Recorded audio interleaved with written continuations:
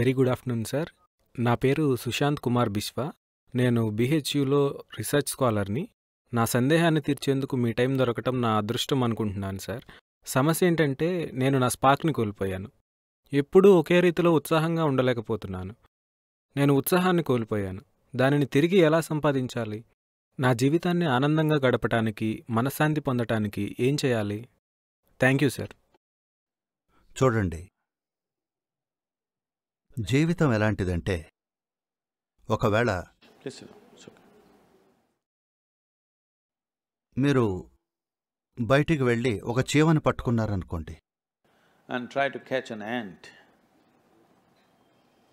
The BHU ant.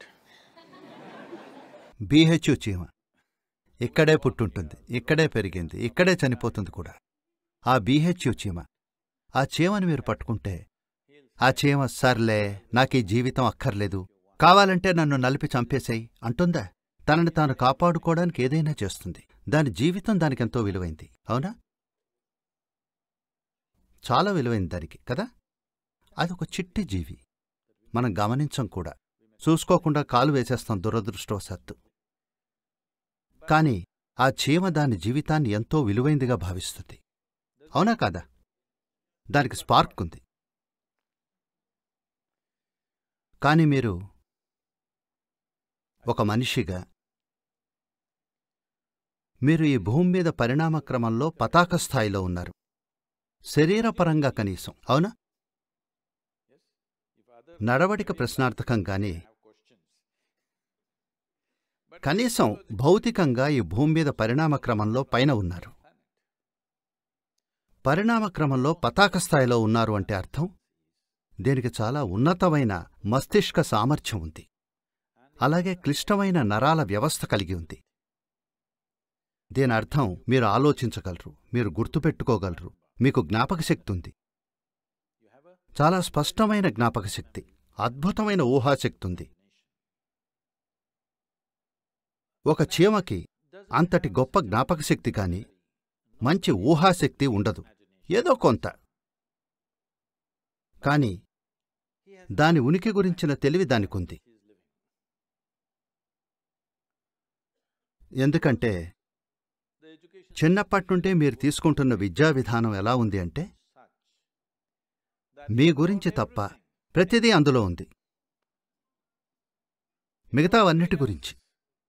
ఒకరు టూరిజంలో PhD ఇంకోరు బయోటెక్నాలజీలో PhD ఇంకోరు ఇంకెందులోనో. దీని గురించి ఏమీ లేదు.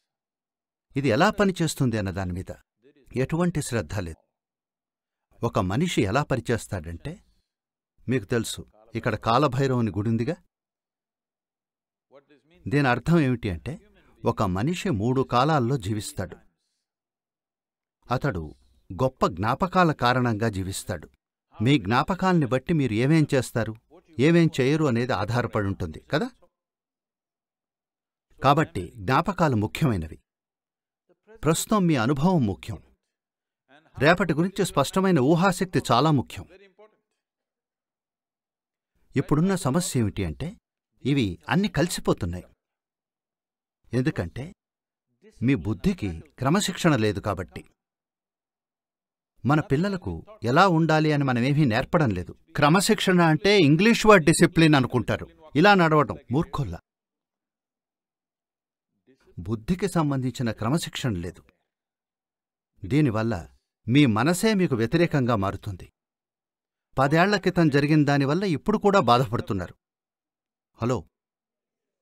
రేపొద్దున్న జరగబోయే దాని గురించి ఇవాళే బాధపడుతున్నారు. ఎందుకంటే బుద్ధికి క్రమశిక్షణ లేదు. మీకు జ్ఞాపకాలను ఎలా వాడాలో తెలీదు. మీ ఊహాశక్తిని ఎలా వాడాలో మీకు తెలీదు. మీ జ్ఞాపకాలు మిమ్మల్ని బాధ పెడుతున్నాయి మీ ఊహాశక్తి మిమ్మల్ని బాధ పెడుతోంది మీరు మీ జీవితమే బాధ అనుకుంటున్నారు. మీ జీవితం బాధ కాదు. మీరు మీ జీవితంలోని రెండు గొప్ప నైపుణ్యాలను మీరు బాధగా మార్చేసుకున్నారు. స్పష్టమైన జ్ఞాపక శక్తిని అద్భుతమైన ఊహాశక్తిని. అవునా? మీకున్న గొప్ప నైపుణ్యాల్ని మీరు బాధగా మార్చుకుంటే మీతో మేమేం చేయాలి? మీరేదైనా వ్యాధి వల్ల బాధపడితే అర్థం చేసుకోవచ్చు. ఏదైనా వైకల్యం వల్ల బాధపడుతుంటే అర్థం చేసుకోవచ్చు. మీరు మీ సామర్థ్యం వల్ల బాధపడితే మీరొక హోప్లెస్ కేసు. Hopeless case? అవునా కాదా? మీరు మీ సామర్థ్యాల వల్ల బాధపడుతున్నారు. మీరు మీ వైకల్యం వల్ల బాధపడితే పర్వాలేదు కానీ మీరు మీ సామర్థ్యం వల్ల బాధపడుతున్నారు. మీకిది చెప్పాలి. ఒక నాలుగైదు నెలల క్రితం అనుకుంటా మీరు వార్తల్లో చూసుంటారు. ఒక ముప్పై నాలుగేళ్ళ యువతి హైదరాబాదులో ఒక టెలివిజన్ యాంకర్ ఐదవ అంతస్తు కిటికీ నుండి దూకేసి ఆత్మహత్య చేసుకుంది. ఒక నోట్ వదిలింది నా చావుకు ఎవరూ కారణం కాదు. నా బుర్రే నా శత్రువు! ఎన్ని కోట్ల సంవత్సరాలు పట్టింది మన మెదడు ఈ సైజుకు రావడానికి. ఇప్పుడిది మీ శత్రువు అయిపోయిందా? ఈవిడ మాటల్లో చెప్పింది. కాని తొంభై శాతం మందికి ఇదే వాస్తవం.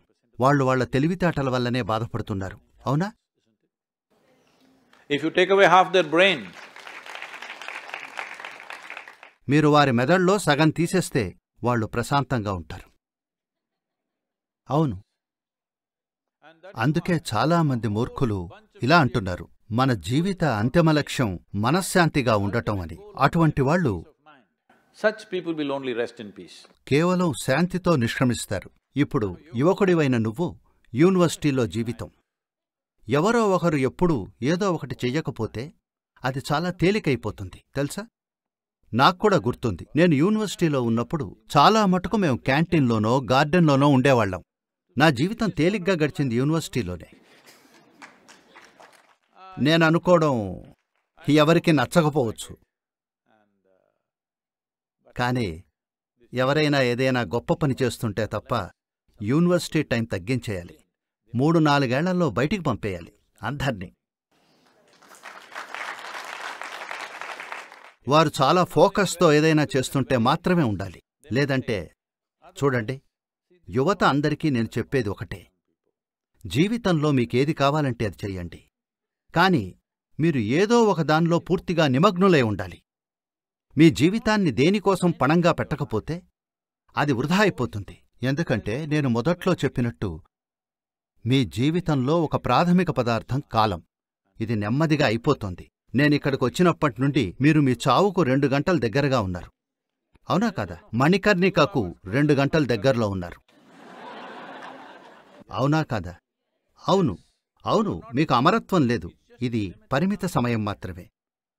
మీది విలువైన జీవితమా అని నేను అడుగుతున్నాను. మీ జీవితం మీకు విలువైందా?